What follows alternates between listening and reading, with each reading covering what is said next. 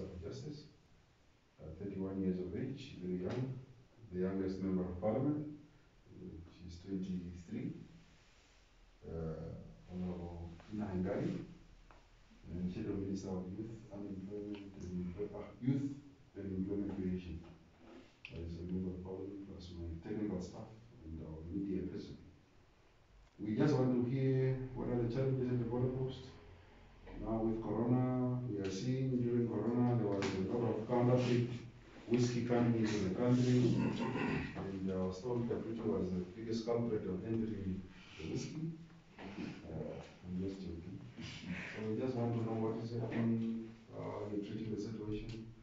Our Moran brothers that are using our services now that the border is closed. What is the proximity, what are the challenges of the border post? Just briefly, no official duties to know what is happening on the police side, roads, and customs and excise. Yeah. Mm. My name is Mudumbi Bumbo. I'm the Chief Customs Officer, the officer in charge for customs in the border. And uh, the colleagues, we have got uh, customs in the border, we've got uh, the police, we've got immigrations, we've got the road funds administrations, we've got, by then it was AMTA, now it's Namibia Agronomic Boards. Mm.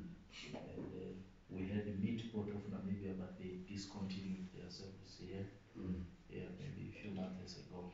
Mm. Yeah, so most of the border is closed for passengers, travelers, Mm. except for essential goods, of Mm. which this border is not so much busy, even before Mm. Corona. Mm. It was, we are more export based, so we had much of our exports were goods that were coming from Oshikango. Mm. And then since the economy collapsed in Angola and then all that and so forth, so we are, apart from Corona, we are just a quiet border, Mm. yeah. Uh, How many, we- how many people are you entering? uh, on the travelers Mm. in and out, that one maybe the colleagues from immigration, because I, Mm. we are only from the police, the, the last part is from road fund, the, the, the lady there is from ag- agronomic, but the immigration colleagues will just, we just him, he will be joining us. Mm. Maybe he will know better precisely as to how many people get, will more likely to give more on trade, Mm. yeah, are trade, exports and imports and uh, the volume of trade, engage with our counterparts, Mm. yeah.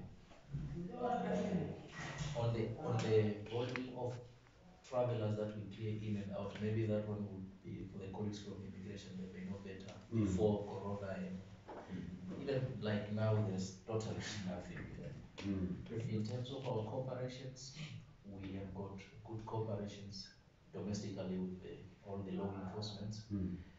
Most of our operations are coordinated, be it meetings, be it uh, outdoors activities, patrols, but um, operations, we always do our work together. We share resources. With the limited resources we have, be it vehicles, internet, fax, what have you, whatever we use, even procured materials, we always share. Mm. Yeah, on the staff complement to the side of customs, we are not so many, Mm. we are six, was five? Six, yeah. Six, the side of the Namibia Agronomic Board, there are two, we are five.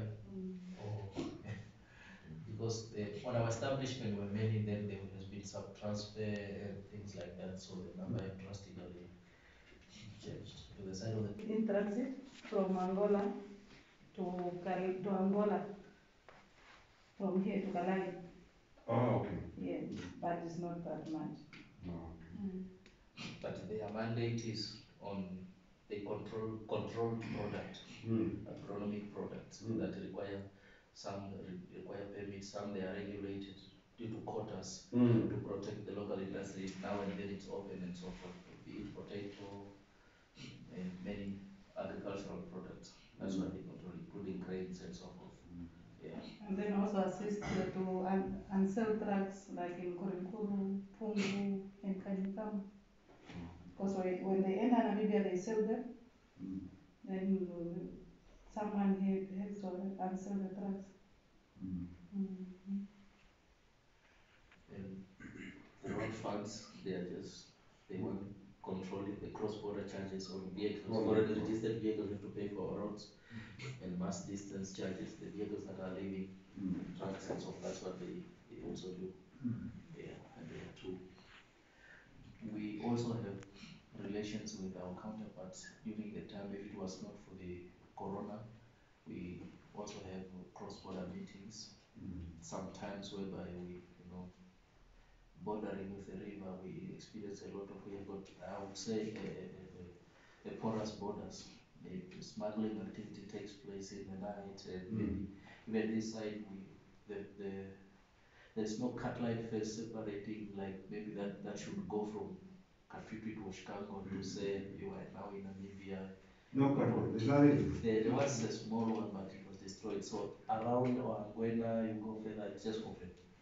Yeah, so it finds it's a challenge to us as border enforcement. Even when we do, when we do uh, joint border patrols, we find that maybe you find some of the Namibians are in Angola, some of Angola they are in Namibia, maybe due to cattle farming and things Mm. like that. If we speak to them, you are told, no, the government have agreed, no, that is politics. Mm. to our side would all entertain according to the Immigration Control Act is like this, according to, yeah, quite a challenge. Normally has used to patrol the borderline and the riverside also. How long do you patrol it for kilometers? Uh, we used to patrol mm, fifty kilometers with a vehicle, footing, about fifteen. Mm. Uh, Patrol every time. But there are always smuggling. Oh, They are always five step ahead of us. Because a lot of Angolan goods are entering the markets, especially during Corona. Alcohol, Mm. alcohol, massive alcohol was coming in, and I was wondering what is happening. Mm. Work with people or something, is it big? Four by four. Yes. And you see, you must have a scrambler. If you really want to do border patrol, you need to have scramblers. Four by four scramblers, two by four scramblers. Because there are, no- there are no roads there. You must just have to.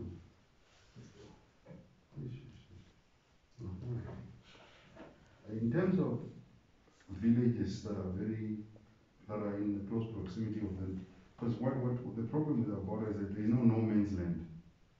There, is no way that you can say this is part of Namibia, this is part of Angola.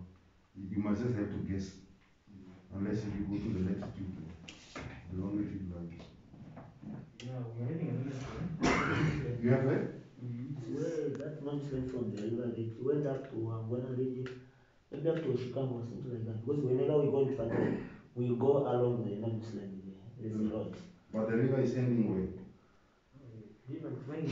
Into Angola now. Yes. That's the time that Yeah, from from. We just went, our borderline just come. Now the no man's land between Namibia and Angola, there are farmers farming there.